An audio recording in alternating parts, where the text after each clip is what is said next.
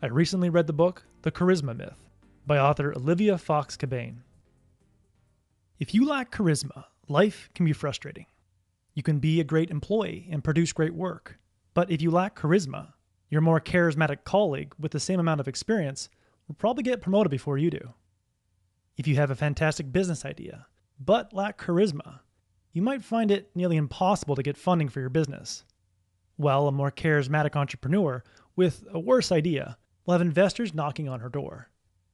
If you lack charisma, you simply need to settle for a life of fewer opportunities. Or do you? If you look at the early presentations by Steve Jobs, you'll notice that he wasn't nearly as charismatic as he was later in life. In his initial presentations, he was bashful, awkward, and a bit too nerdy. In the years following those initial presentations, Steve Jobs learned how to be more charismatic author Olivia Fox Cabane, has spent her life studying and teaching charisma. She's proven that, like Steve Jobs, you can develop your charisma with practice. The assumption that charisma is something you naturally have is a myth. Charisma isn't a gift, charisma is a skill you can develop. However, before acquiring the skill of charisma, you need to identify what exactly charisma is. You know a charismatic person when you meet them. They seem to have a magnetic quality about them that draws you to them. When they walk into a room, you notice them. When they talk, you listen. And when they ask for a favor, you're eager to help. We naturally do these things because charismatic people have found a way to convey three positive qualities simultaneously. These qualities are power, warmth, and presence. You see power, warmth, and presence in the late Steve Jobs, in the late Martin Luther King, and in Oprah Winfrey. It's the rare combination of power, warmth, and presence that makes these people's personalities so magnetic. But not only do these people convey power, warmth, and presence, they do so in a way that appears effortless and natural. So, how can you and I learn to convey these three qualities and authentically increase our charisma? Author Olivia Fox Cabane has found that the best way to convey power, warmth, and presence naturally is to put yourself in the right mental states prior to your social interactions. Olympic athletes have shown that one of the most effective ways to put yourself in the right mental state is to conduct visualizations.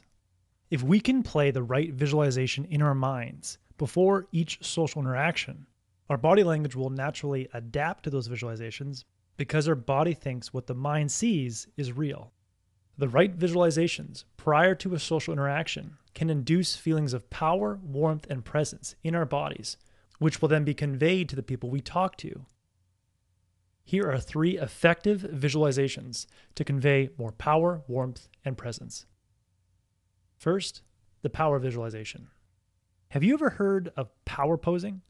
Power posing is the act of adopting a pose like Usain Bolt would at the finish line of a 100 meter dash, with his hands raised above his head. Or power posing is putting your hands on your hips and posing like Superman. The goal of a power pose is to widen your body and take up more space. When you adopt a power pose, you create a noticeable hormonal effect in your body. A recent Stanford University study found that adopting a power pose and taking up more space reduces anxiety related hormones by 25% and gives the outward appearance of poise and confidence. But holding a power pose before a social interaction or forcing yourself to widen your body during a social interaction can be rather awkward. It's usually better to conduct a visualization that will naturally cause your body to relax and expand and convey a sense of power authentically. One great visualization to do this is to see yourself walking into a room or on a stage as a big gorilla. If you're a big gorilla, you take up a lot of space. When you walk into a room, people need to get out of your way to make space for you. If you're a big gorilla, you're a territorial animal, and you like to stand up, inflate your chest, and pound it with your fists. I found that visualizing myself walking into the room as a big gorilla is just what I need to loosen up the tension in my shoulders, open up my posture, and stand tall, all of which convey a sense of power to other people.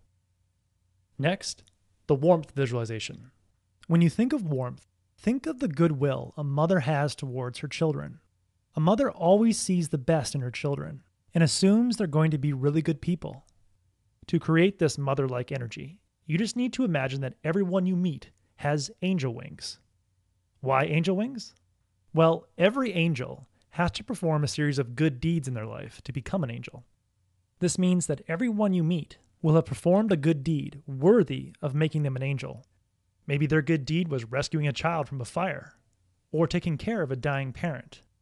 When you meet someone with angel wings, you're fascinated by their backstory. You're curious about what good deeds they've done in life, and you assume they're a good person, all of which naturally conveys a sense of warmth. And finally, a visualization to convey presence. When you convey a sense of presence, you make people feel like that they have your full attention.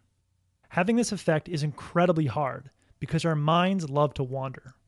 Harvard psychologist Daniel Gilbert estimates that nearly half of the average person's time is spent mind wandering. During a social interaction, we'll spend at least half of our time thinking about what we're going to say next or a problem outside of the conversation we're having.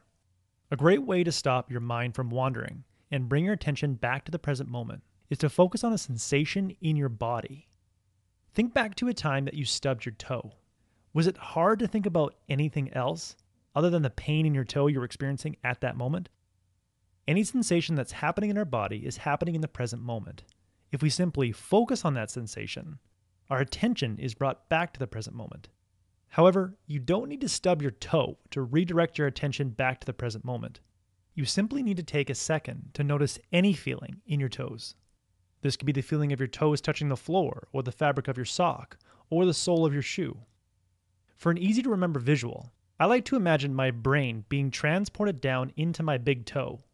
That brain in my toe can detect the slightest sensations in my toes. By conducting this visualization and concentrating on my toes, I notice that my awareness shifts from the thoughts in my head down through my body and into my toes.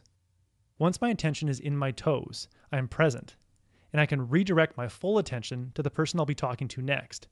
This will naturally convey a sense of presence. So, if you want to take the first steps to developing more charisma, start putting yourself in the right mental state before a social interaction. Imagine you're the big gorilla walking into the room. Imagine that everyone you meet has angel wings. And imagine your mind dropping down into your toes. By engaging in these visualizations before a social interaction, your body language and your voice will come across as more powerful, warm, and present, all of which will make you more charismatic. That was the core message that I gathered from The Charisma Myth by Olivia Fox Cabane. This is a well researched book on charisma. I highly recommend it. If you would like a one page PDF summary of insights that I gathered from this book, just click the link below and I'd be happy to email it to you. If you already subscribe to the free Productivity Game email newsletter, this PDF is sitting in your inbox. If you like this video, please share it. And as always, thanks for watching and have yourself a productive week.